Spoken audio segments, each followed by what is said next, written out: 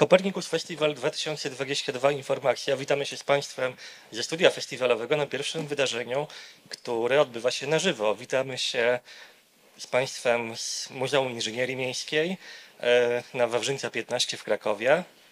Witamy wszystkich, którzy są dzisiaj z nami e, w tym pięknym miejscu. Witamy też tych, którzy nas oglądają na kanale YouTube e, Kopernikus.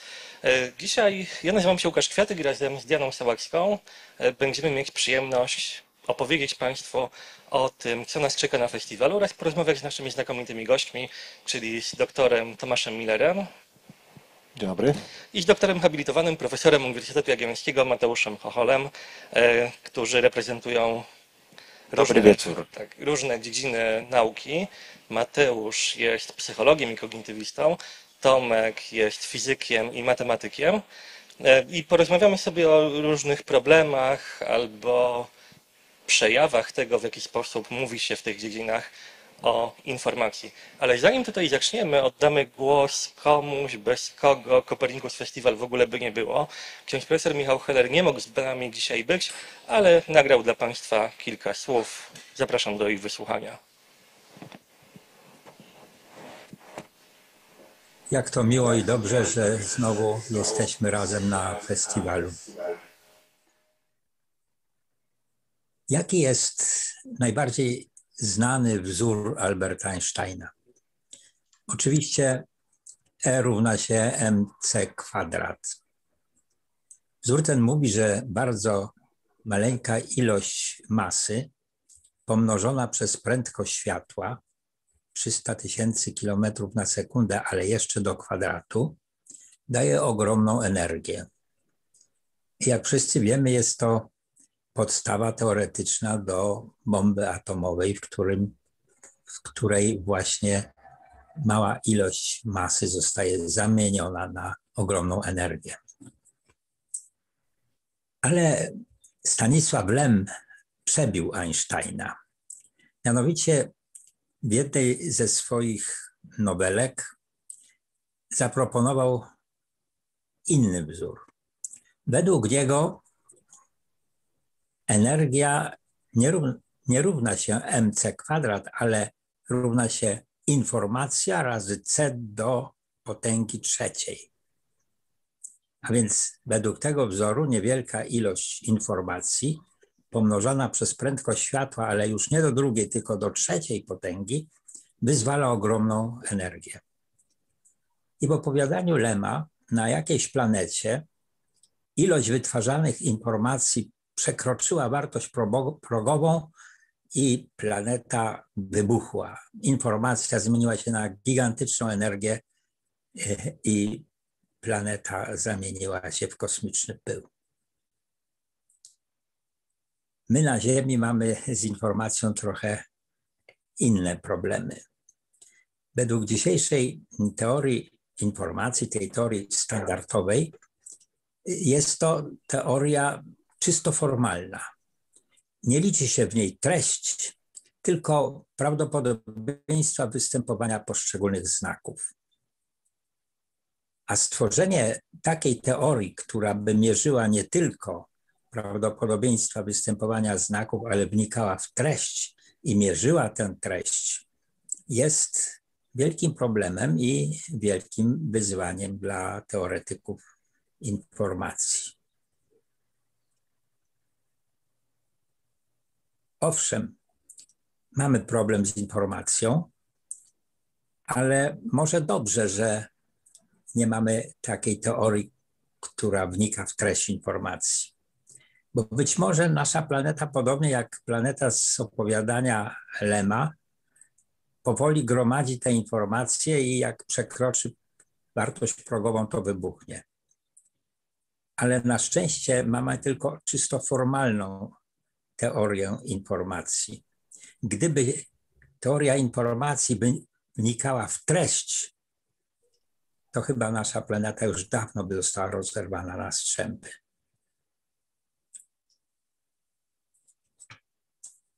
Niech e, nasz festiwal będzie takim wyjątkowym przy, przyczółkiem, w którym informacja formalna idzie w parze z treścią tej informacji. Życzę wszystkim uczestnikom festiwalu dobrej, dobrej to znaczy mądrej zabawy.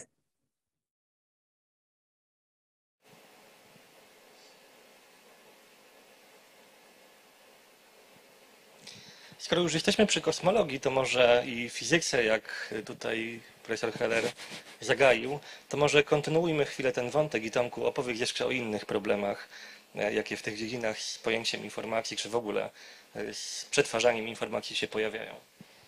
Tak, no tych problemów jest oczywiście mnóstwo. Tutaj ksiądz profesor w dużej mierze mnie wyręczył, bo pojęcie informacji rzeczywiście przebija się w fizyce bardzo mocno i pod wieloma postaciami. Informacja jest takim dużo trudniej uchwytnym pojęciem fizycznym niż energia, pęd czy inne wielkości fizyczne znane ze szkoły. No bo na przykład w teorii względności, gdy mówimy, że jakakolwiek informacja nie może propagować się, rozprzestrzeniać się szybciej niż światło, mamy na myśli po prostu wszelkie oddziaływanie, bez względu na to, czy będzie w nim zawarta jakaś treść, jakaś wartość semantyczna, czy też nie. Y, Mamy informację w fizyce statystycznej, która związana jest z takim, jakby jest miarą naszej niewiedzy o układzie, jest jakimś zawężeniem możliwości realizowanym przez dany układ i wiąże się z takim równie tajemniczym pojęciem entropii. Oczywiście nie będę w to teraz wchodził. E, No i wreszcie jest mechanika kwantowa, która informacje mm, wyraża czy, czy, czy nazywa, używa tego pojęcia informacji w jeszcze innym sensie. Tam e, informac- jednostką informacji już nie jest dwustanowy bit 0 albo 1, tylko kubit, czyli coś, co może być w pewnym sensie mieszaniną zera i jedynki. O tym oczywiście dużo więcej opowie nasz znakomity gość, profesor Artur Eckert w sobotę. E, Jeszcze tylko dopowiem, że najciekawsze rzeczy i problemy e, w fizyce związane z informacją to chyba właśnie mają miejsce tam, gdzie te różne znaczenia pojęcia informacji e, spotykają się. Mamy na przykład w związku z termodynamiką jest tak zwana zasada Landauera, która mówi, że usunięcie informacji wiąże się z takim minimalnym wzrostem temperatury zawsze. Mamy paradoks informacji związany z czarnymi dziurami, w której e, to jest taki paradoks, w którym ta informacja kwantowa spotyka się z tymi barierami narzuconymi przez teorię względności. To taki był słynny zakład e, Stephena Hawkinga, ekipa Thorna i e, Preskilla, nie pamiętam jak miał na imię ten fizyk, czy ma. E, W tym zakładzie chodziło o to, czy w tym paradoksie chodzi o to, że z punktu widzenia mechaniki kwantowej informacja nie może ginąć. A z drugiej strony, jak Hawking udowodnił, czarne dziury, jak już tam się najedzą, jak już wchłonią ileś tam materii, jak poczekamy wystarczająco długo, to czarna dziura wyparuje. A zatem i to wyparuje w taki czysto chaotyczny sposób. Będzie emitować nieuporządkowane promieniowanie cieplne, w tym już nie ma zawartej żadnej informacji, to jest szum. A zatem ta informacja, która wpadnie do czarnej dziury w ciągu całego jej życia, zostaje unicestwiona, bo w momencie, gdy ta czarna dziura wyparuje, już żadnej informacji nie ma. Co się z tą informacją dzieje? No, z punktu widzenia mechaniki kwantowej nie powinna ona być niszczona, a jednak wydaje się, że no, z punktu widzenia teorii względności, tego co Hawking udowodnił, tak się powinno dziać. E, chyba obecnie dominuje pogląd, że ta informacja jednak jest zachowywana, ale wydaje się, że zwolennicy Hawkinga, bo to chyba on właśnie optował za tym, że ta informacja jest niszczona, jeszcze tak nie do końca wszyscy są przekonani, więc y, na pewno jeszcze taka prawdziwa fizyka informacji mm, ścisła i obejmująca te wszystkie różne wcielenia tego pojęcia jest jeszcze przed nami. Chciałabym Cię zapytać o jedno z naszych pasm Percepcjo, w którym to właśnie będziesz między innymi opowiadał o matematyce i informacji. Natomiast tutaj w kontekście fizyki pojawia się nasz czarny koń festiwalu. Myślę, że gość, na którego wiele z Państwa e, czeka, czyli Andrzej Dragan. Dla tych z Państwa, którym e, to nazwisko nie jest znane, może przybliżysz, o czym będziecie rozmawiali podczas tego spotkania.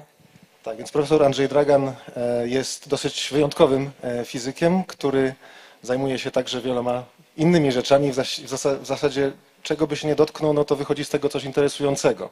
Bo on jest też uznanym fotografem, filmowcem, no i takim niestrudzonym gawędziarzem, który o teorii względności może opowiadać po prostu w każdym momencie i, i zawsze robi to bardzo, bardzo ciekawie i tak porywająco. E, No i z tego, co mogę wywnioskować nawet z tytułu jego wystąpienia, czy Diabeł gra w kości, e, profesor Dragan będzie opowiadał o swojej takiej idei czy hipotezie, którą e, wysunął razem z innym naszym gościem, czyli profesorem Arturem Eckertem, na temat pewnej takiej intrygującej, nie wiem jak to nazwać, może luki czy możliwości tkwiącej w szczególnej teorii względności, która może powiązać się z mechaniką kwantową. Y, Być może Państwo słyszeli, że te dwie teorie, no one nie są tak do końca kompatybilne, one się gryzą. No i Andrzej Dragan e, twierdzi, że dostrzegł coś cie- ciekawego na ich styku. Ja nie do końca się z tym zgadzam, dlatego mam nadzieję, że właśnie będziemy mogli podyskutować. A jeżeli chodzi o wykład jednego z naszych głównych gości, Artura Eckerta, e, mamy w naszym dodatku do tygodnika bardzo ciekawy tekst, z którego możemy też dowiedzieć się coś więcej o komputerach kwantowych.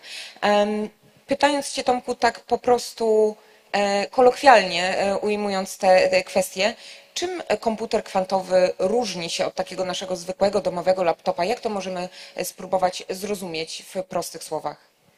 No, w takich prostych słowach to spróbuję tak jak Justin Trudeau w którymś momencie zaskoczył dziennikarza, że właśnie umiał powiedzieć, co to jest komputer kwantowy. Zasadnicza różnica polega na tym, o czym już wspomniałem, że w klasycznych komputerach jednostką informacji taką podstawową jest bit, czyli coś albo 0, albo 1, coś dwustanowego, takie dyskretne, czyli nieciągłe, jak rzut monetą. Natomiast w komputerach kwantowych, e, no już właśnie dzięki temu, że one mm, posługują się tymi dziwnymi prawidłami mechaniki kwantowej, nie ma już zera i jedynki tak zupełnie rozłącznie, tylko tam pojawia się całe kontinuum stanów pomiędzy zerem a jedynką. Trochę tak jak w e, eksperymencie myślowym kota Schrödingera, który może być w pewnym sensie jednocześnie żywy i martwy. Tak komputer kwantowy potrafi prowadzić obliczenia na kubitach, które mogą być w pewnym sensie równocześnie zerami i jedynkami i to, jeśli odpowiednio się go zaprogramuje, potrafi diametralnie przyspieszyć obliczenia. Czy mój mikrofon przestał? Nie wiem, No, czy mój też? Mamy, e, tak. Mamy jakąś awarię z mikrofonami. E, To mam nadzieję, że ona zaraz zostanie. Chyba nie powiedziałem niczego tajnego o komputerach kwantowych. Może się obraziły na ciebie. Albo nas, o, no właśnie, jakieś siły wyższe nas się zdjęły. Raz, dwa. Czy mnie słychać? Ale właściwie już skończyłem swoją wypowiedź. Ale to prosimy tylko o potwierdzenie, czy, czy dźwięk działa, czy... Okej, dobra, super. E, Mateusz, to chyba dobry moment, żeby e, poprosić Ciebie z kolei o wprowadzenie, czy o opowiedzenie trochę o różnicach między mózgiem a komputerem i tak jak, jak te dwa urządzenia, nie wiem, czy tego mózgu można powiedzieć, do tego też możesz się odnieść, e, jak one przetwarzają informacje. E, No, pierwsze pytanie jest takie, czy mózg w ogóle jest komputerem? E, I no, bardzo taką dużą karierę e, w rozwoju psychologii, naukopoznaniu, też sztucznej inteligencji, no ale też po stronie takiej popularyzacji nauki zrobiła właśnie metafora komputerowa, w której mówimy, że przybliżamy działanie mózgu poprzez właśnie analogię do czegoś, co no to już dawno było, gdzieś tam od lat 50. się zaczęło, no czegoś, co było teoretycznie dobrze zbadane, komputery pierwsze powstawały, no i E, No i cóż, no i e, pomysł był taki, no, że coś e, skomplikowanego będziemy przybliżać poprzez coś, co inżynieryjnie i teoretycznie, matematycznie rozumiemy całkiem nieźle, a że te komputery były całkiem proste wtedy, no to e, było narzędzie. No więc był pomysł taki, że umysł jest tak jakby komputerem, czy mózg jest tak jakby komputerem. E, No ale e, taka teza spotkała się e, z krytyką, no i mówiono, że ta analogia jest, no to jest analogia, jak każda analogia, no coś zawodzi. No i pytanie jest takie, jak my to w ogóle dzisiaj widzimy? Czy, czy, czy, my, czy mam, z pewnością możemy mówić o metaforze komputerowej, ale może czymś więcej. No, wielu badaczy, ja się z nimi zgadzam, to nie jest metafora, to jest coś więcej niż metafora. Mózg jest jakimś typem maszyny przetwarzającej informacje, E, I myślę, że taki argument, że w związku z tym, że dzisiaj mamy komputery, więc przybliżamy to poprzez komputery. Kiedyś mieliśmy centralę telefoniczną i no, e, właśnie mówiliśmy, że umysł jest jak centrala telefoniczna. Jeszcze wcześniej moglibyśmy mówić, jak Leibniz mówił, że mózg jest, czy umysł jest jak młyn e, i gdzieś Ponoć Heraklit powiedział, że umysł jest jak katapulta. No i no dzisiaj się z tego śmiejemy, no niektórzy mówią, że może za 50 lat będziemy się śmiać właśnie z tej metafory komputerowej. Ja myślę, że to nie jest metafora i e, mózg jest rzeczywiście maszyną przetwarzającą informacje, natomiast no, warto powiedzieć, czym się różni rzeczywiście ta e, maszyna. E, No i weźmy sobie, no, ja nie jestem jakoś tutaj zbyt wyrafinowany, więc to dla mnie komputer to jest z jednej strony jakaś konstrukcja teoretyczna, czyli jakaś uniwersalna maszyna Turinga, no ale z drugiej strony to jest mój komputer, na którym pracuję codziennie. No więc weźmy sobie ten taki komputer, który świetnie znamy. No i teraz y, no, ja się bawiłem w składanie komputerów, jeszcze to były takie czasy, że było całkiem łatwo, taniej i w ogóle, no więc poskładałem tych komputerów w życiu kilka, popsułem nóżki w procesorach i w ogóle. No ale wiem mniej więcej jak to działa. No i to były takie czasy, że no wszystko trzeba było wsadzić osobno. Karta muzyczna była, była karta graficzna, to jeszcze nie było zintegrowane, był procesor, wsadzało się pamięć RAM do płyty głównej, podpinało się dysk, no oczywiście zasilanie, wszystkie peryferia i tak dalej. I teraz ważna rzecz. Te wszystkie rzeczy po pierwsze były osobnymi układami, które ja sobie mogłem wyjąć, mogłem sobie wsadzić, no, mogłem je podmienić, no i dalej się tak robi. No, kartę graficzną można no, lepszą chcieć, to się ją wsadza.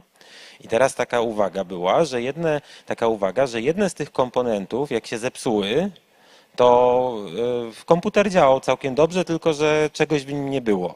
No ja jak y, zacząłem grać na gitarze elektrycznej, no to spaliłem kilka kart muzycznych, no bo tam eksperymentowałem, no ale ten komputer działał całkiem dobrze, no tylko nic nie było słychać z głośników, więc e, komputer taki, no to był stacjonarny, taki blaszak, jak my to mówiliśmy, nie wiem, czy dalej się tak mówi, e, miał e, charakterystykę i konstrukcję stricte modularną.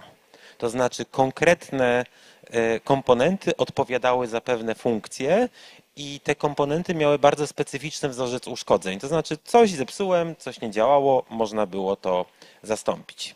No i teraz pytanie, czy mózg jest też y, taką maszyną, takim komputerem o takiej charakterystyce stricte modularnej? No i e, to jest bardzo poważne pytanie. E, I można powiedzieć, ok, co by miało, gdyby nie był o charakterystyce czysto modularnej, no to byłby jakąś taką masą, która zajmowałaby się wszystkim. No nie? E, I trochę uproszczę, wybaczcie mi Państwo za to uproszczenie. E, no, ja bym powiedział, że mózg jest takim komputerem, który jest w pewnym sensie w pół drogi między modularnością a taką holistycznością. Co przez to rozumiem? E, oczywiście są struktury wyspecjalizowane w danych zadaniach, natomiast pod wpływem uczenia się i dzięki no, mechanizmom plastyczności e, to nie jest aż tak zafiksowane jak w komputerze. No dam Państwu przykład. E, wydaje się, że e, ok, dam Państwu przykład, no nie przygotowałem go, ale niech będzie taki. E, mamy taki, taki kawałek mózgu, który nazywa się zakrętem wrzecionowatym i to jest taka struktura, która odpowiada u większości ludzi za przetwarzanie twarzy. I to takie przetwarzanie nie cecha po cesze, tylko takie przetwarzanie holistyczne. E, no, ale czy możemy powiedzieć, że to jest moduł do przetwarzania twarzy? Nie, dlatego że my możemy ten zakręt wrzecionowaty wytrenować w, roz, w rozróżnieniu samochodów albo jakichś takich sztucznych, e, e, sztucznych eksperymentalnie wygenerowanych tworów i to całkiem szybko się dzieje. Co więcej, no są to już to, to jest znacznie bardziej spektakularne, rzadsze przypadki.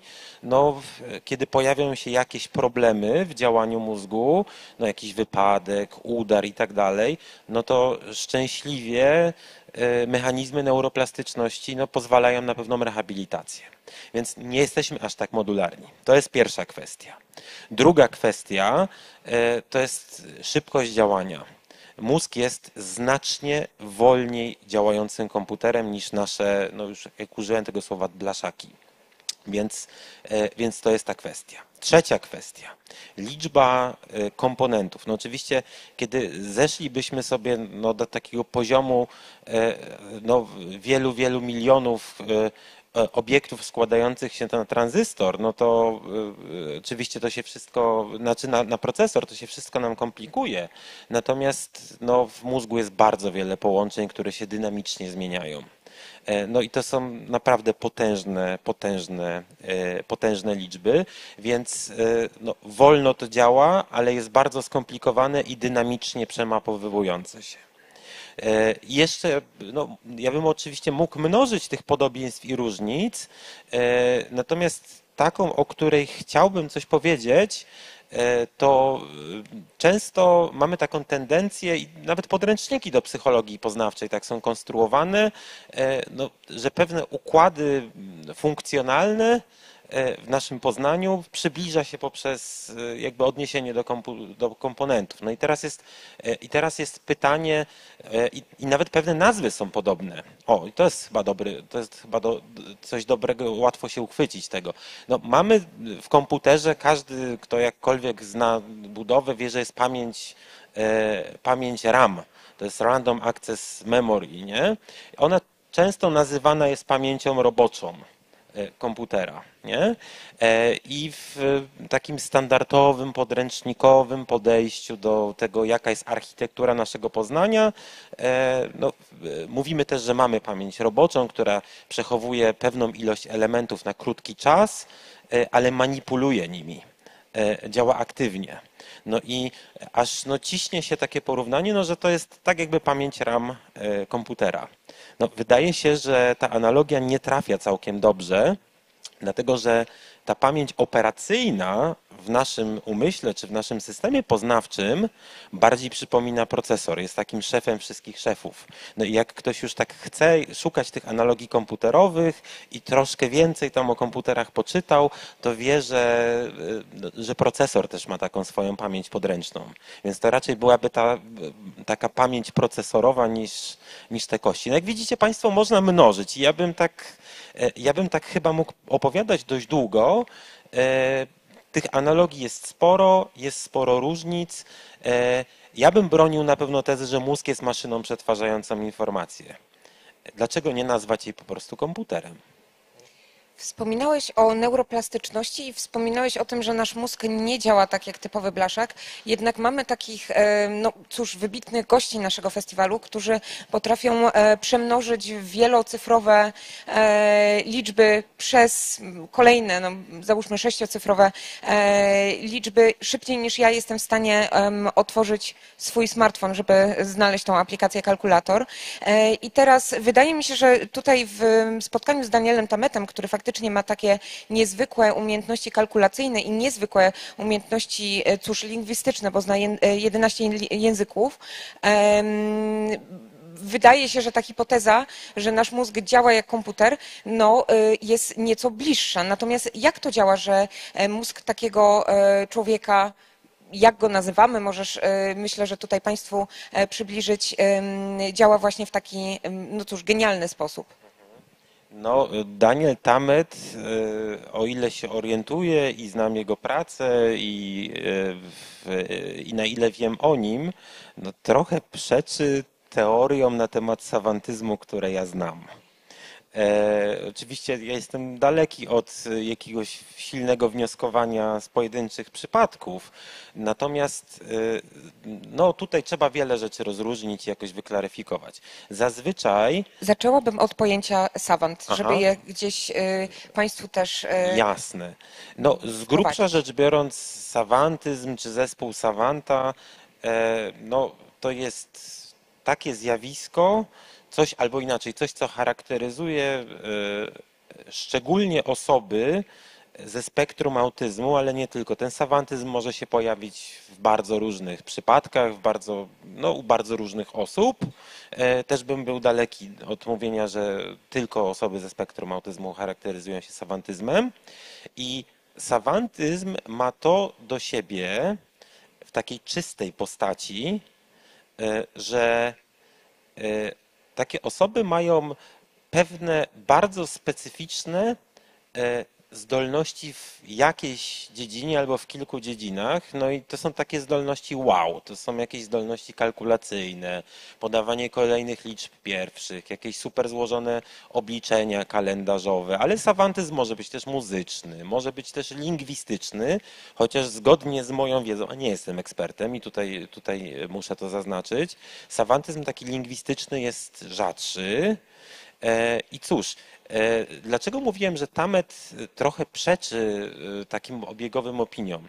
Otóż zazwyczaj sawantyzm rozpoznaje się u osób dotkniętych zaburzeniami rozwojowymi, które no, mają, no, można powiedzieć, mniejszy iloraz inteligencji natomiast są super wyspecjalizowane w jakiejś jednej rzeczy. I teraz jak się to tłumaczy?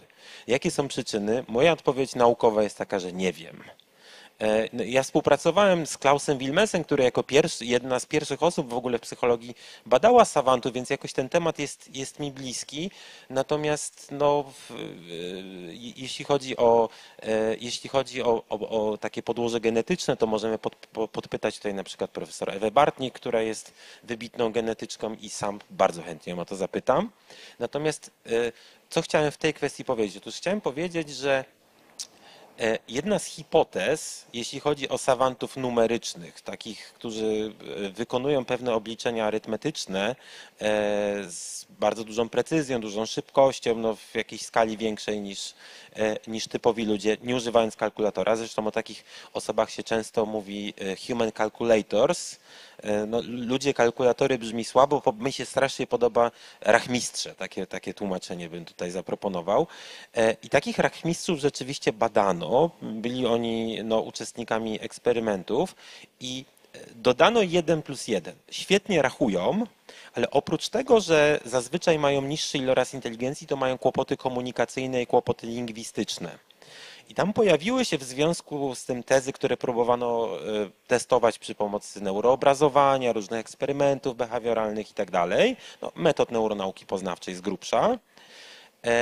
E, I okazało się, znaczy okazało się, z tych, e, te wyniki interpretowano mniej więcej w taki sposób, że obszary lingwistyczne dostosowywują się do nowych zadań, neuroplastyczność, albo wręcz język przestaje tłumić pewne, pewne zdolności, które są jakoś w każdym z nas, ale ta kategoryzacja językowa no, nam je wyłącza.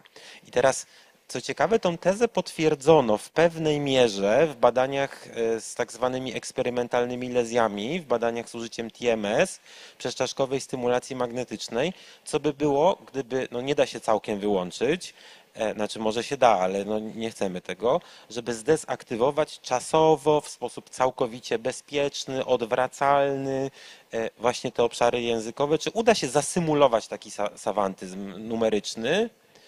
Tak, udawało się.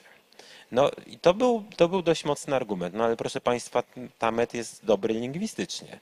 No więc jak, jak ja bym na to odpowiedział? No, że najprawdopodobniej no, to słowo savant jest y, po prostu bardzo zgrubną etykietką, pod którą podchodzi, y, pod, która kryje, no wiecie Państwo, teraz mówimy o spektrum autyzmu, no, a nie mówimy po prostu o autyzmie jako, no, no ta, wiemy, że ta etykietka kryje bardzo wiele. Nie?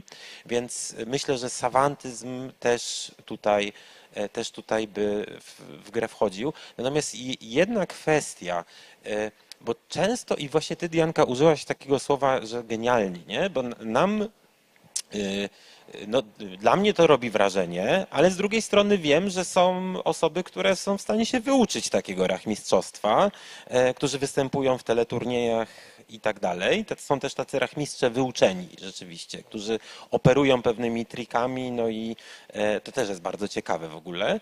E, natomiast zazwyczaj sawanci, pomimo tego, że nam wdech w piersiach zapierają pewne ich e, no, zdolności, takie rachmistrzowskie, no, no nie są zwykle twórczymi matematykami, nie tworzą nowych teorii, nie rozwijają matematyki. Nie?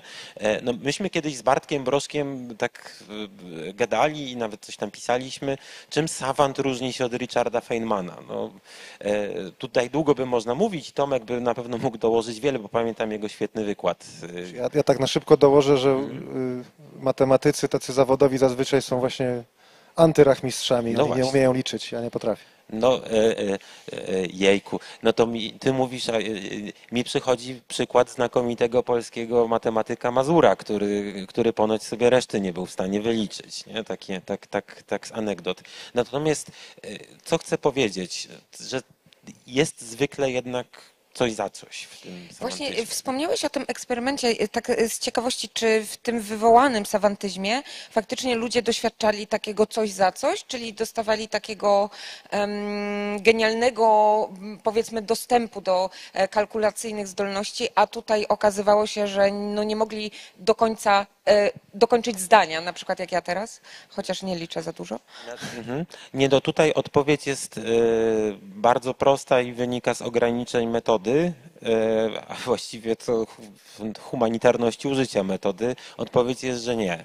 E, Okej, no gdy używamy e, przezczaszkowej stymulacji magnetycznej, to efekty tego działania, stymulacji danej struktury, czy jej dezaktywacji, jej zaburzenia są niezwykle subtelne e, i my je widzimy. e, Okej, e, załóżmy, że, załóżmy, że, załóżmy, że działamy na ośrodek Broki, czyli motoryczny ośrodek mowy. No, czy taka osoba będzie mieć kłopot z mówieniem? Nie. Albo załóżmy, że działamy na ośrodek Wernikego, czyli no, taki ośrodek zrozumienia mowy. Czy, to, no, czy, czy tak jak ty mnie rozumiesz teraz, czy taka osoba mnie... Absolutnie nie. Natomiast Natomiast w zadaniach eksperymentalnych, gdzie osoba ma na przykład stwierdzić, czy coś jest słowem, no w ułamkach sekundy będzie to działało dłużej. Więc no to, to jest zbyt subtelne, żeby to zauważyć. Ale to może powiedzmy, może powiedzmy, co zaobserwowano rzeczywiście, bo ja mówiłem, że zasymulowano sawantyzm i rzeczywiście możecie sobie Państwo pomyśleć, że oni nagle zaczęli mnożyć. Absolutnie nie. Z grubsza rzecz biorąc, e, w mojej dyscyplinie, która się nazywa psychologią poznania matematycznego, jednym z takich ulubionych badań, które, takich paradygmatów, które stosuje się na dzieciach, na zwierzętach, na dorosłych, jest porównywanie zbiorów kropek. To nie wiem, czy mogę zdradzić, bo tutaj takie tajemnice są. No to już dawno było. to Tomek był moją osobą badaną nieraz i porównywał zbiory kropek, to może więcej opowiedzieć. E, Natomiast e, zadanie jest takie, gdzie jest więcej kropek? Tu czy tu? Na, z lewej czy prawej stronie? Czy, wie, gdzie jest więcej, czy jest więcej żółtych czy czerwonych? I teraz e, to też jest takie ciekawe, taki może jakaś matematyczność świata się pod tym kryje, że są pewne prawa psychofizyczne e, na temat stosunków liczebności, które my potrafimy rozróżnić. E, I im jesteśmy starsi, tym ten no, współczynnik, e, tym jesteśmy precyzyjniejsi w tych rozróżnieniach. No Dlatego wiemy, po ile jest paliwo, nawet obudzenie o drugiej w nocy. Mhm. Nie no, z grubsza chodzi o to, że e, z grubsza chodzi o to, że osoby, e, że osoby, które e, właśnie mm, no, przeszły t- t- t- tą, in, tą indukcję eksperymentalną TMS-em, e, rozróżniały te zbiory kropek znacznie bardziej precyzyjnie albo precyzyjniej estymowały liczbę kropek, to znaczy bez konieczności ich liczenia strzelały bliżej, e, ile tych kropek jest. Nie osiągając zazwyczaj trafności, chyba że przez przypadek w jakiejś próbie. Więc to, e, jak mówimy o tym symulowaniu sawantyzmu, no to to jest w granicach metody, no bo wiecie Państwo, to są badania, które mają być bezpieczne, powtarzalne. No, e, zresztą no, mamy fajne środki eksperymentalne, gdzie na poziomie czasów reakcji my nie musimy nikomu e, jakby wyłączać ośrodka mowy, nawet gdyby to było etycznie uzasadniona rzecz jasna, nie jest, no, żeby testować pewne hipotezy. Więc e, jest to fajne, ale są ograniczenia e, i co z tego wszystkiego wynika? No, że jest jakiś typ sawantyzmu, który prawdopodobnie e, no, wiąże się, nazwijmy to, odhamowaniem tego, co nam w cudzysłowie zabiera język. No ale język nam dużo daje, to, to jest jedno, a na drugie, no, że te sawantyzmy chyba są różne.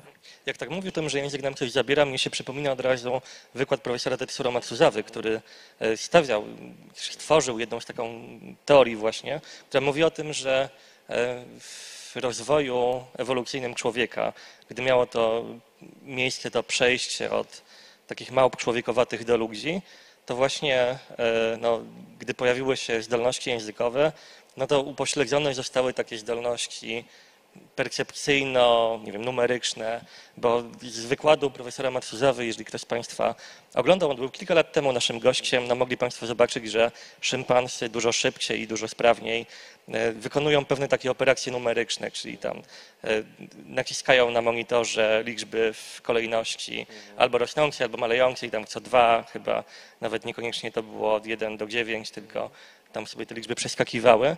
E, i po tym, jak te liczby zostają im wyświetlone na dosłownie ułamek sekundy. E, Ale może jeszcze, jak już jestem przy głosie, e, Ja dodam, tylko, dodam tylko, że e, ogląda nas sporo osób na YouTubie, więc zapraszamy Państwa do zadawania pytań. Będziemy te pytania przekazywać.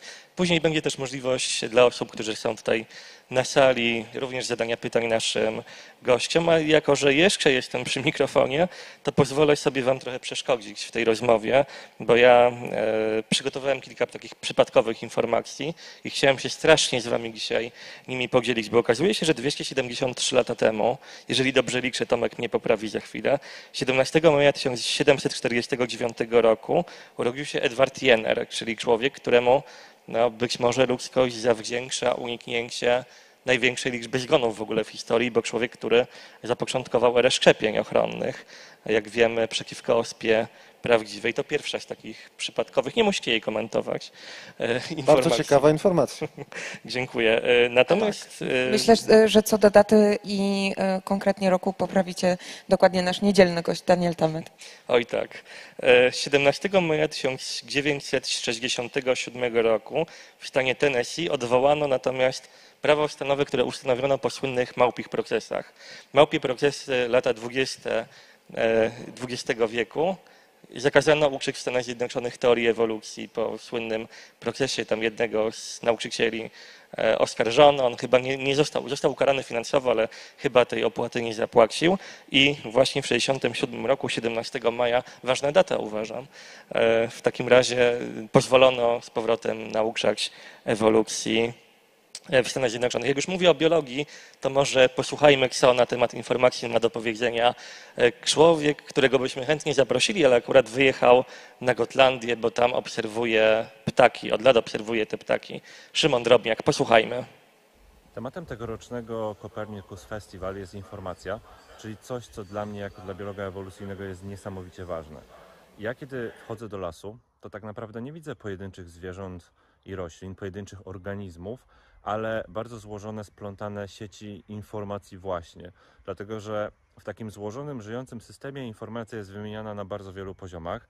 Stanowi ona podstawę funkcjonowania ekosystemu, bo i wymieniają ją między sobą drzewa, komunikując się z grzybami mikoryzowymi, i jest ona podstawową walutą w procesie doboru płciowego, kiedy partnerzy oceniają nawzajem swoją jakość. I wreszcie na najbardziej podstawowym molekularnym poziomie to właśnie informacja zakodowana w genach jest materiałem generującym zmienność, która jest tak bardzo potrzebna do tego, żeby ewolucja w ogóle mogła działać. Bez informacji zwyczajnie nie ma ewolucji biologicznej. Zapraszam do eksploracji bardzo ciekawego świata biologicznej i nie tylko informacji.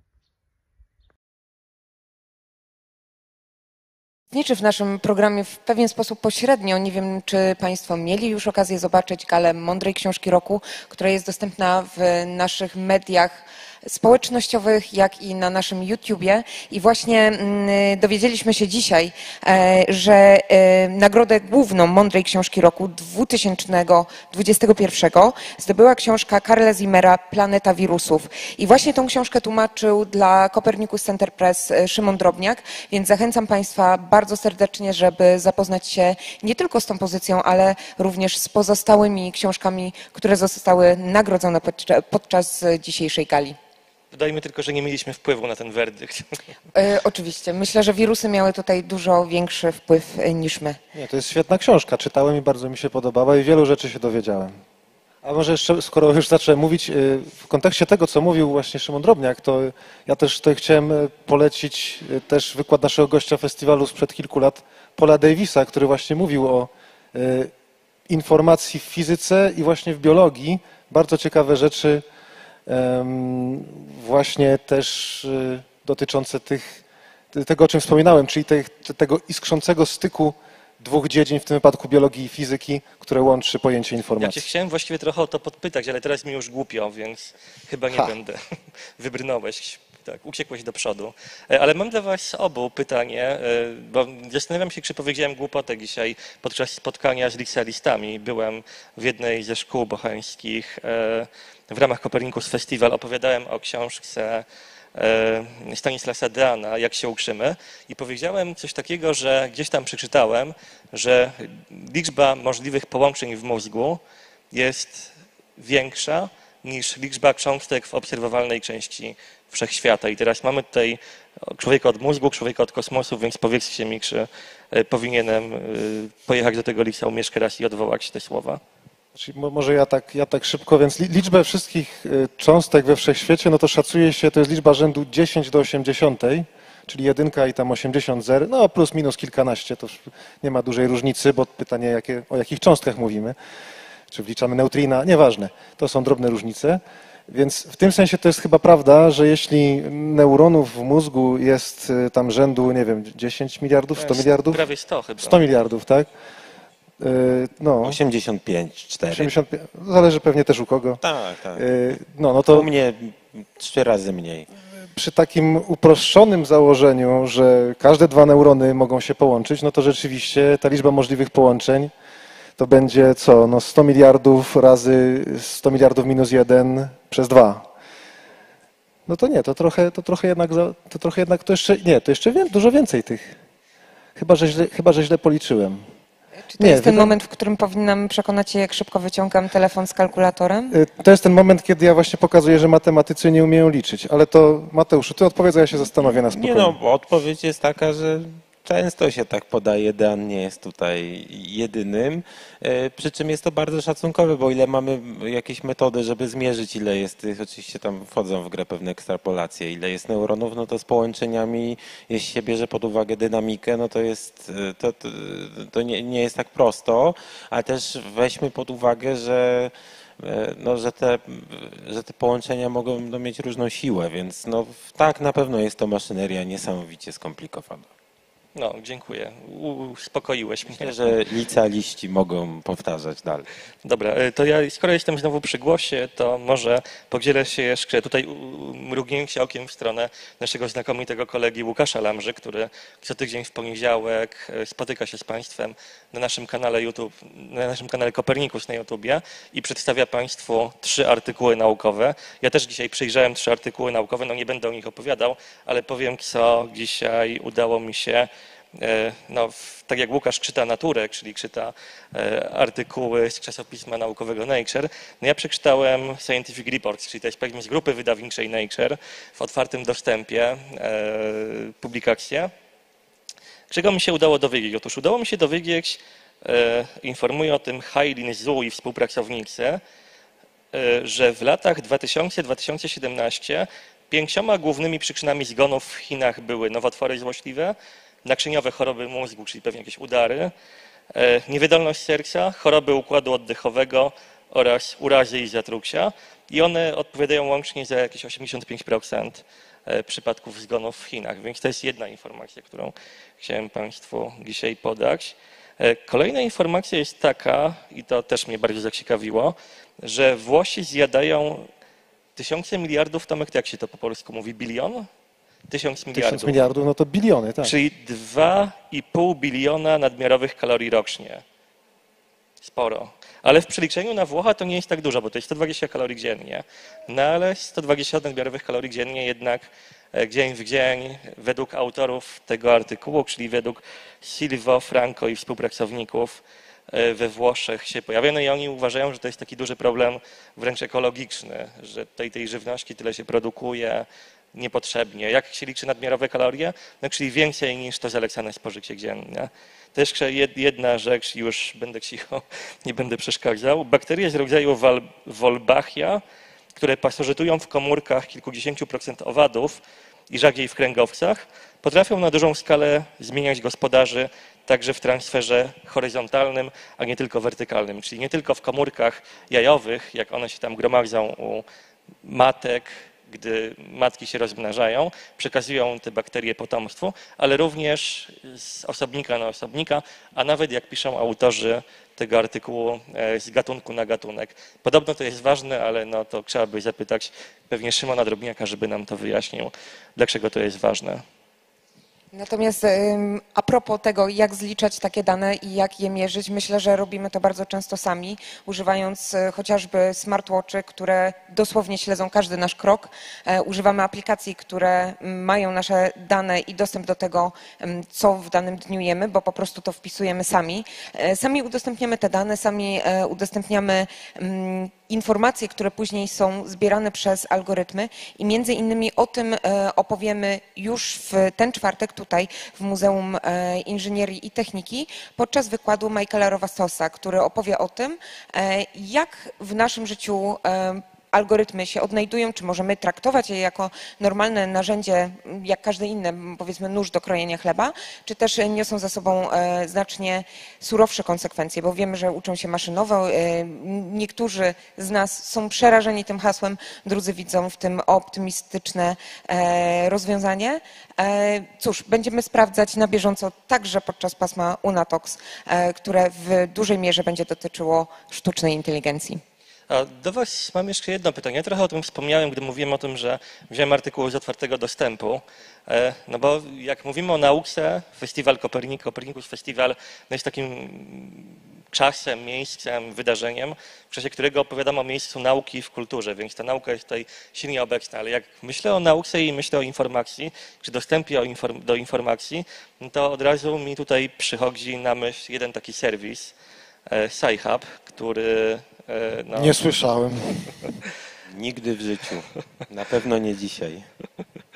No właśnie, opowiedzcie może, czym jest SciHub i jakie problemy e, z nim, e, czy z, no, z czasowym wyłączeniem tego serwisu wszyscy mamy i no, dlaczego to jest ważne w ogóle w nauce.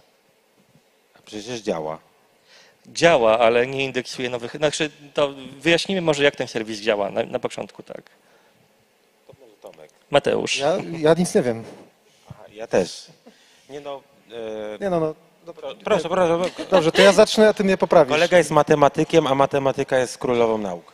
Yy, Nie no, SciHub to jest taki serwis yy, założony przez, przez jedną osobę, przez, przez jedną kobietę, yy, który omija blokady nakładane przez czasopisma naukowe, te czasopisma, w których naukowcy publikują wyniki swoich badań.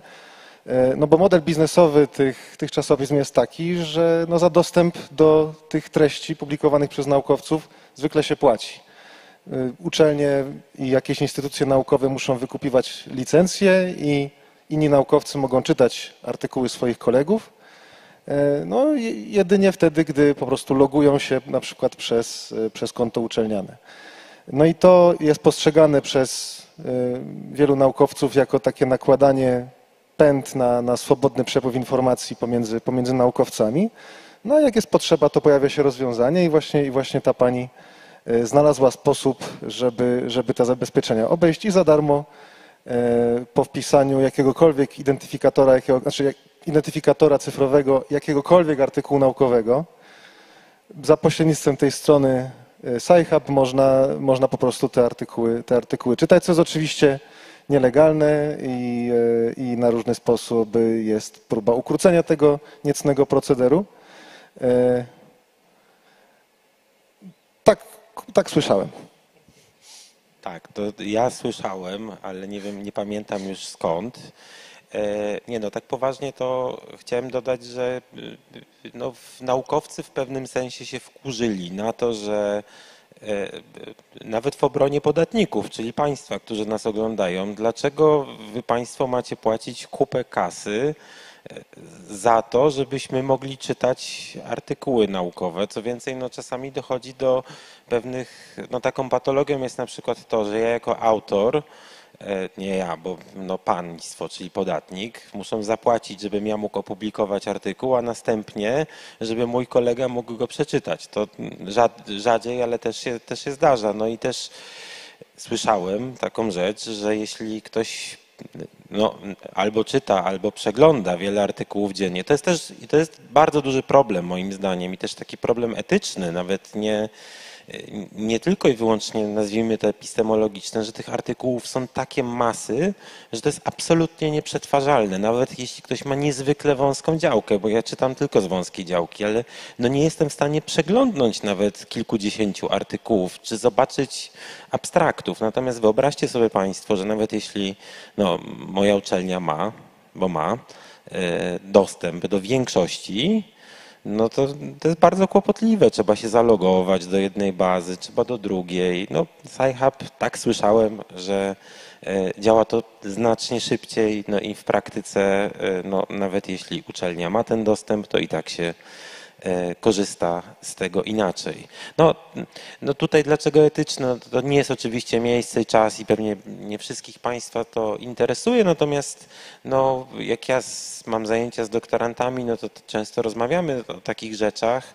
No, jakie artykuły powinny być publikowane? Czy powinny być publikowane artykuły dobre i bardzo dobre, czy tylko takie, które są absolutnie excellent?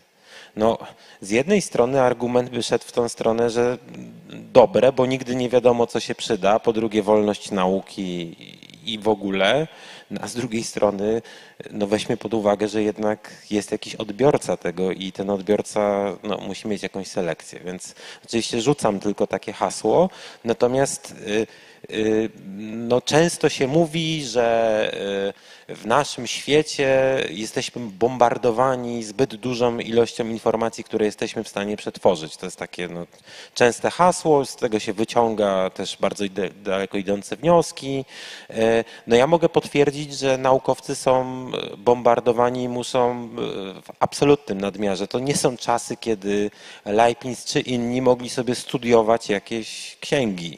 No, jest, ja nie wiem, jak sobie z tym radzić, nie wiem, jak mój mózg sobie z tym radzi, no, ale często mam e, no, taki mo- moralny kłopot, że moje przyswajanie tych materiałów no, nie jest zbyt głębokie, nie? Że, że działam pobieżnie. To jest, nie, jest za dużo informacji w nauce, które dla pojedynczych osób czy nawet zespołów badawczych.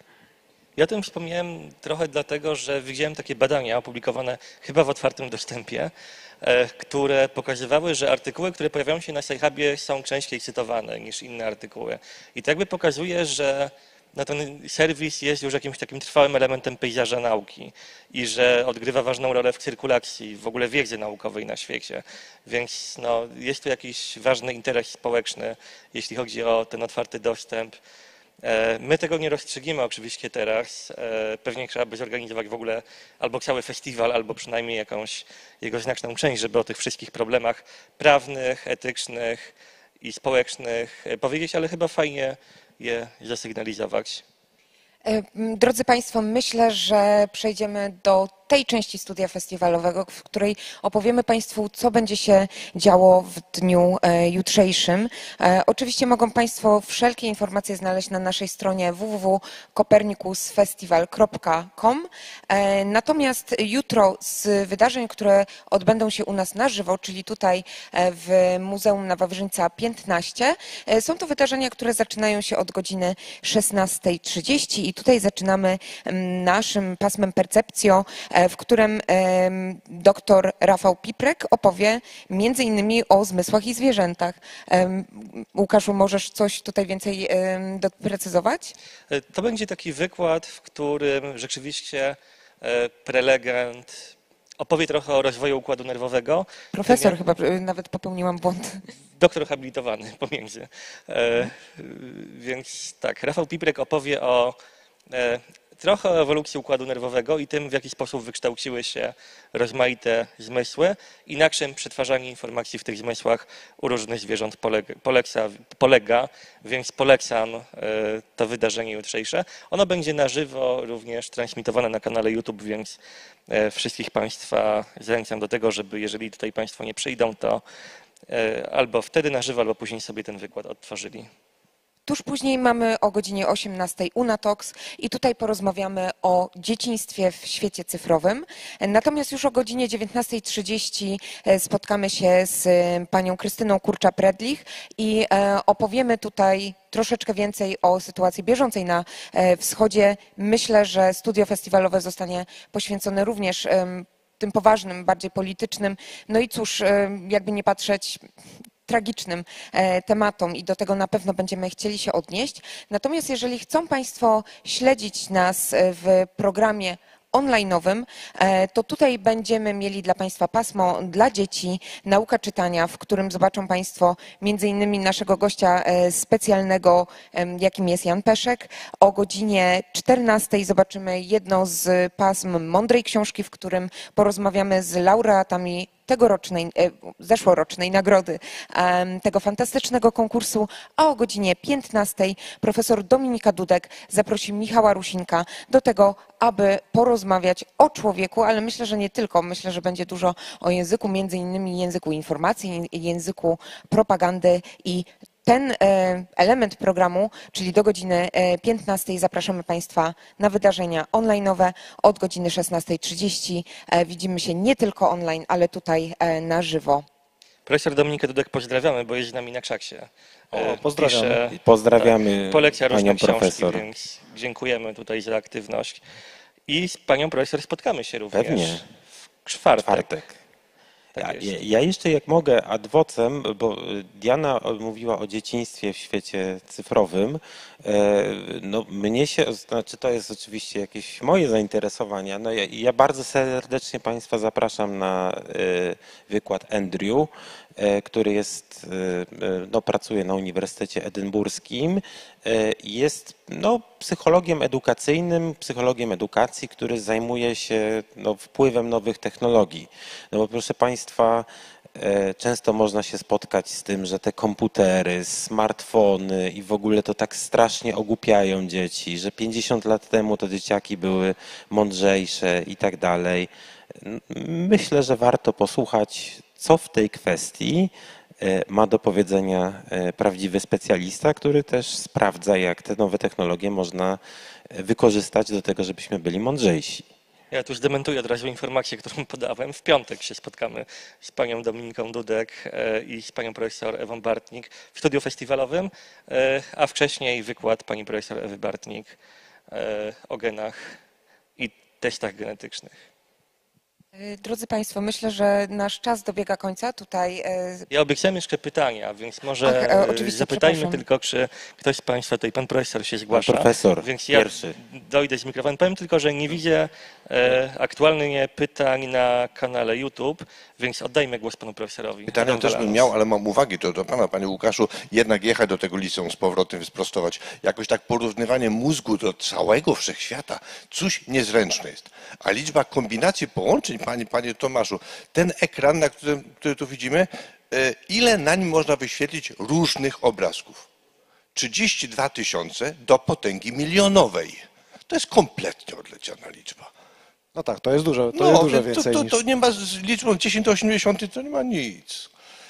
A, a, a pytanie Tak. mam takie, dlaczego fizykom tak bardzo zależy, żeby ta informacja nie ginęła w tej czarnej dziurze czy gdzieś tam? Jak ja napiszę artykuł do Tygodnika Powszechnego i w mądrym odruchu go spalę, to go nie ma. Jak napiszę na mojej karcie w w aparacie fotograficznym kilka razy kolejne zdjęcia, no to po tych pierwotnych nie ma już żadnego śladu przecież. Tak. Nie rozumiem. Znaczy ja mogę, mogę spróbować się szybko wytłumaczyć. To jest y, przykład na to, że fizycy pod pojęciem informacji mają troszeczkę co innego na myśli niż właśnie taka informacja, y, no tak jak się posługujemy tym pojęciem na co dzień, taka też, taka też semantyczna, bo teoretycznie, gdyby, zastos- gdyby e, mieć pełną informację na przykład właśnie o tym artykule, czyli o położeniu każdego, o położeniu prędkości każdego atomu, który się składa na tę kartkę, to czy on ulegnie spaleniu, jak, czy jakimś innym reakcjom chemicznym czy fizycznym, to my znowu, czysto teoretycznie, posługując się prawami e, Newtona, czy nawet prawami mechaniki kwantowej, gdyby to w ogóle w praktyce dało się przeliczyć, to bylibyśmy w stanie teoretycznie z tych popiołów, znając, wiedząc jak one tam poleciały, bo w każdym momencie moglibyśmy sobie obliczyć, jakie tam siły na nie działały, z czym, z czym wchodziły w interakcję, okazuje się, że z takiego czysto teoretycznego punktu widzenia moglibyśmy wciąż te informacje wydobyć, co oczywiście no, nie jest w praktyce możliwe, ale mm, gdy mowa była właśnie o tej, o tej utracie informacji w czarnej dziurze, to chodziło o ten rodzaj informacji, o rodzaj, e, e, o, o, taką, o taką informację rozumianą tak bardzo fundamentalnie, która, e, której ewolucja w czasie jest odwracalna.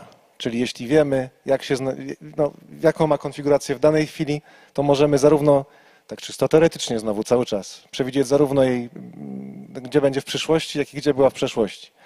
I tym bardziej szokujące właśnie w tym paradoksie e, Hawkinga, e, tej czarnej dziury, jest to, że nawet tak maksymalistycznie rozumiana informacja, tak elementarnie rozumiana informacja i tak jest właśnie, jak się wydaje, właśnie jak się nie wydaje, ale miała być pierwotnie niszczona w tej, w tej czarnej dziurze. To była po prostu taka teoretyczna sprzeczność pomiędzy wynikami z dwóch dziedzin fizyki fundamentalnej, czyli e, z ogólnej teorii względności z jednej strony, a z drugiej strony z mechaniki kwantowej. Więc tutaj trzeba rzeczywiście bardzo e, dobitnie tak rozróżniać między znaczeniem informa- informacji takim codziennym, a takim jak fizycy na, jakiś, na poziomie e, atomów, a nawet niższym poziomie sobie te informacje definiują.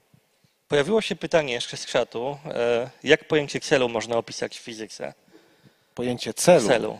O, to jest trudne i bardzo ciekawe pytanie, bo mm, zasadniczo w zasadzie można, można powiedzieć, znowu trochę upraszczając, że w zasadzie to nowożytna fizyka właśnie powstała jako odejście od posługiwania się taką arystotelejską przyczyną celową. Właśnie raczej skupiliśmy się na, na takiej przyczynie, y, Arystoteles to by chyba powiedział, że to jest przyczyna sprawcza. Tak? Ale której? spra- No, że, no, że z tych czterech przyczyn w fizyce została, Została tylko, sprawcza została tylko. tylko jedna, sprawcza, prawda? Yy, To jest takie przeformułowanie równa Newtona, yy, które, znowu tak bardzo kolokwialnie mówiąc, mówi, że układ fizyczny zachowuje się tak, jakby chciał zminimalizować pewne wyrażenie. Że to jest jakby jego cel, żeby zminimalizować to działanie, które tam się w nazwie pojawia. E, To jest bardzo, bardzo skuteczne w fizyce podejście, właśnie ta zasada najmniejszego działania, więc pojawiały się takie pomysły, że może właśnie to jest coś głębszego, że może właśnie należy tę celowość jakoś wprowadzić do fizyki za pośrednictwem tego typu zasad i to z nich będą wynikać równania Newtona i jakieś tam fundamentalne e, inne równania. To niestety się nie udało, bo tam z czasem okazało się, że zasadę najmniejszego działania też można wyjaśnić tak czysto sprawczo. E, To już w tym celu trzeba zejść na poziom mechaniki kwantowej, nie będę tego robił.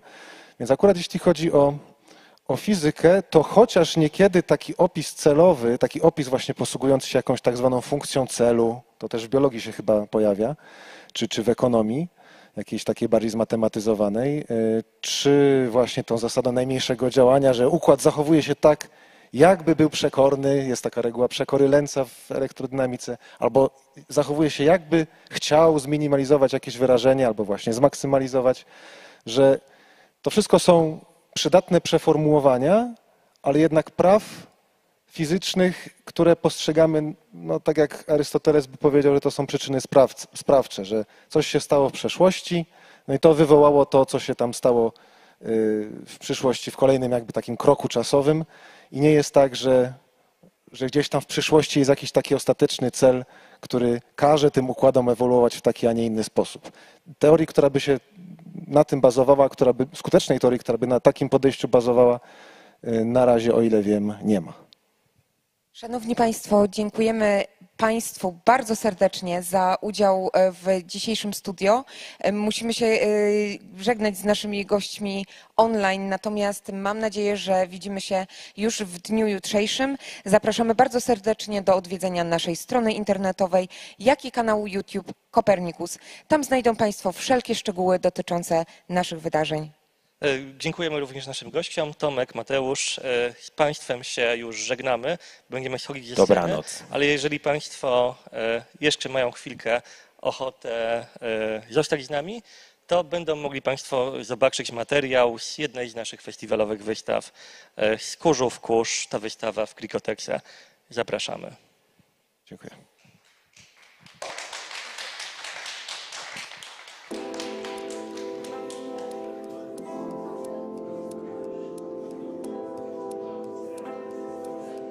Znajdujemy się w e, Ośrodku Dokumentacji Sztuki Tadeusza Kantora Krikoteka i znajdzie, znajdujemy się w jej przestrzeni showroomowej, czyli galerii szatniej na poziomie minus jeden. W tej chwili e, mamy wystawę Skórzów Kurz, e, czyli wystawę zorganizowaną w ramach festiwalu Kopernikus Informacja we współpracy z Akademią Sztuk Pięknych w Krakowie i jest to wystawa zbiorowa e, 11 artystów, 10 żyje.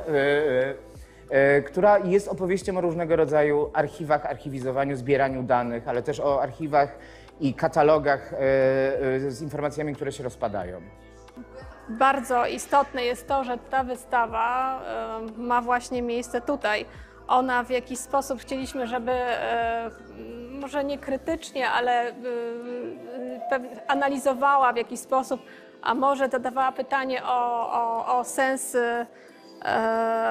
tego, czym jest dokumentowanie, obsesyjne dokumentowanie pracy, e, gromadzenie e, swoich realizacji, opisu ich e, jak, jakby jakie ma zadanie, do czego ten zbiór prowadzi, na ile możemy z niego korzystać, na ile jest twórczy, na ile nam otwiera pewne jakby kierunki, o których byśmy może nie wiedzieli, gdyby, gdyby nie, nie ten zapis. Myślę, że to jest bardzo ważne miejsce dla właśnie tego tematu i cieszę się, że ta wystawa właśnie tutaj ma się odbywa i, i możemy ją jakby w takim kontekście pokazać. Historia tego zbioru jest bardzo prosta, bo historią tego zbioru jest e, Krikoteka i Tadeusz Kantor i e, to, kiedy myślę, że poczuł, że, e, że stworzył już tak dużo, że, że, że, że trzeba to wszystko, co stworzył, opisać, zaczął, po, powołał Krikotekę, która miała służyć zachowaniu jego dorobków w, w, przeróżny sposób, od obiektów teatralnych, i to jest nasza kolekcja, po e, wycinki pracowe, recenzje, fotografie i filmy ze spektakli i, e, i wszelkiego rodzaju informacje o twórczości Tadeusza Kantora i Teatru Kriko 2. Więc to jest e, początek, początek tej wystawy z Kurzu w Kurz, do której razem z Kingą Nowak zaprosiliśmy dziesiątkę artystów współczesnych, którzy w różny sposób archiwami się zajmują. Więc w jakiś dziwny sposób dyskutują tutaj z kantorem. Otóż stoję przy takiej kolumnie moich y, zeszytów, szkicowników, dzienników, które mm, powstają y, no właściwie bez żadnego takiego przymusu od y, mm, 1993 roku. No i są prowadzone mm, do dzisiaj, e, z tym, że są w bardzo różnych formach e, te zapisy. E, Ogólnie jak widzicie są, są to analogowe, analogowe zapisy, czyli ręka, aparat, wydruk, no właściwie takie przedkomputerowe. A więc taki świat, który jest dopełnieniem raczej tej wystawy, ponieważ tutaj wszystko jest e, e, właściwie powiązane z techniką, z technologią. I mm, kiedy Kamil Kuj- Kuitkowski pojawił się e, u mnie w pracowni e, i szukaliśmy rzeczy, które mają być archiwum, archiwum artysty, no to e, wpadłem na to, żeby to były te, te książki pokazane, które zwykle są za szafą, za szafą w, w pokoju. E, Część daliśmy wspólnie na podłogę, bo myślałem, że będzie wyższa ta kolumna, ale niestety do sufitu nam nie, nie, nie starczyło tych książek. To jest taki zapis codzienny. Czy, czy to jest archiwum, to można się spierać. Zdarzało mi się do nich e, zaglądać, bo tam rzeczywiście jest sporo podpowiedzi e, czy szkiców do, do prac wykonanych. I często po latach one są zupełnie inaczej przeze mnie odbierane. y, Są zaskoczeniem. Właściwie jakbym oglądał y, cudze też prace. W jakiś sposób są y, nowe. Często mi się nie podobają. Sobie, so- myślę, że, że kto to zrobił i właściwie po co, po co. Ale bywa, że, że, mm, że wykonuję tą pracę po wielu latach z tego szkicu. Zdarzyło mi się też. E, Ja stoję przed e, pracą, którą wykonałam. Jest to haft mm, moimi włosami, a wyhaftowana jest treść listu Heleny Kozłowskiej Dąbrowskiej z 1935 roku. E, Była to jedna z pierwszych studentek, która studiowała w Krakowskiej Akademii Sztuk Pięknych. A ja od jakichś pięciu lat śledzę wszystkie kobiety, które znalazły się na takiej archiwalnej liście. Tam jest 17 nazwisk kobiet. I ja po kolei y, szukam, wyszukuję w archiwach, co jest bardzo żmudną pracą. y, Zresztą y, mamy 2022, a ja przez cały czas szukam i odnajduję nowe ślady. E, Ta lista tych 17 nazwisk e, pochodzi z Archiwum Akademii Sztuk Pięknych w Krakowie. Ja pewnego dnia poszłam do archiwum i zapytałam, czy taka lista istnieje. Że chciałam dowiedzieć się czegoś, czy poznać nazwiska e, kobiet, które jako pierwsze studiowały u nas w Akademii. No i pani pracująca tam, Joanna Grabowska, wyciągnęła mi gotową listę. Był to końcowy spis wszystkich studentów, e, ponieważ w związku z tym, że kobiety były e, jako pierwszy raz, e, to był ich pierwszy ukończony semestr, to zostały zapisane na samym końcu tej listy i zajmowały numery od 99 do 117. Stoję za mm, takim biurkiem. Ono ma e, być, e, przede wszystkim biurko to jest e, podobno projektu Kantora. A na tym biurku mamy dwie bardzo ważne, dwa bardzo ważne elementy naszej wystawy, a mianowicie dokumentację fotograficzną umarłej klasy 75 roku i te tutaj obiekty do oglądania są zrealizowane, zrealizowane właśnie dla, przez kantora i normalnie niedostępne. To znaczy mamy na tej wystawie w ogóle wyjątkową okazję zobaczyć e, takie obiekty i takie e, formy jego archiwizacji, e, których e, normalnie nie możemy, nie, na co dzień nie są, nie, są, nie są eksponowane. Obok mamy e, pracę mm, Andrzeja Bednarczyka. E, Nie widać stąd, ale jest to klęcznik, który, e, przed którym e, widzimy natłok obrazów współczesnego świata. Em, no, ta wystawa jest trochę takiej obsesji dokumentowania i e, gromadzenia, zapisywania w pamięci swoich e, artefaktów e, przez e, artystów, ale też przetwarzania pewnych informacji. Pytanie, o czym informować? Bo jeżeli informować o tym, co e, jest niepodważalne, no to jest niestety niebezpiecznie bliska propagandy. Ale może informować o tym, że świat jest trochę inny niż pozornie się wydaje, albo informować o tym, że można zadawać pytania. E, Jak najbardziej sztuka może przekazywać informacje i e, może też popula- popularyzować wiedzę. Tylko przypadku sztuki jest to pewnego rodzaju e, haczyk i trzeba e, poszukać dalej, trzeba mm, włożyć troszeczkę wysiłku, żeby się zainteresować. I mm, powinno się zrobić na tyle komunikatywną pracę, żeby ona zachęcała do y, dalszego poszukiwania, nie? do szukania czegoś więcej. To jest bardzo ciekawy i myślę bardzo aktualny problem, bo w, w Polsce przynajmniej parę osób zaczyna się intensywnie tym zajmować, przede wszystkim archiwami artystek, na przykład jak Katarzyna Kazora czy Marika Kuźmicz, e, ale też mówiąc żartobliwie, powinni prowadzić swoje archiwa, bo później kustosze, muzealnicy i kuratorzy mają straszne problemy. Nie wiem, czy uważam, że każdy artysta powinien zachowywać e, te prace. E, Natomiast, bo czasami artyści palą, palą swoje prace, czy niszczą. Mm. Ja akurat te książki e, zachowuję, ponieważ były e, kiedyś na pewno dla mnie szalenie ważne. Jakby była to taka oś, e, oś twórczości, e, dosyć e, no, ważna, która się stała też trochę pu- pułapką, e, pułapką, takim więzieniem, że nie mogłem jakby w inne media wchodzić, ale z tego się wyzwoliłem, bo tak jak powiedziałem wcześniej, że, że były te zapisy y, tylko słowne, to są te lata 2000, czyli, y, ale, albo czasami koncepcje wystaw.